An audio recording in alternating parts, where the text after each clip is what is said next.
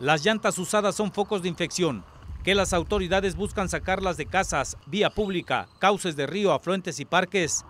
Si no sabe qué hacer con ellas, el Ayuntamiento de Tuxtla Gutiérrez pondrá en marcha el programa Llantatón, juntos en la lucha contra el dengue, zika y chingonguña, este 6 y 7 de junio. El llantatón es en seguimiento de una política este, de nuestro presidente que es de Limpiemos Tuxtla. Esta es otra etapa, ya tuvimos la etapa de limpieza de calles, eh, del desasolve de alcantarillas y de que recogimos escombros. En este momento es el llantatón, no nada más porque contamina, hay una contaminación para que estas llantas eviten quedarse en, el, eh, pues en los parques, en los ríos, sino porque además hay una importancia en la salud pública. En esta temporada de lluvias, los neumáticos son propensos a la acumulación de agua y representan sitios propicios para la reproducción de los huevecillos del zancudo, que transmite enfermedades por vectores. Por ello, las autoridades invitan a la población en general a sumarse a estas acciones de prevención. Por eso invitamos a a la ciudadanía, a las empresas, empresarios,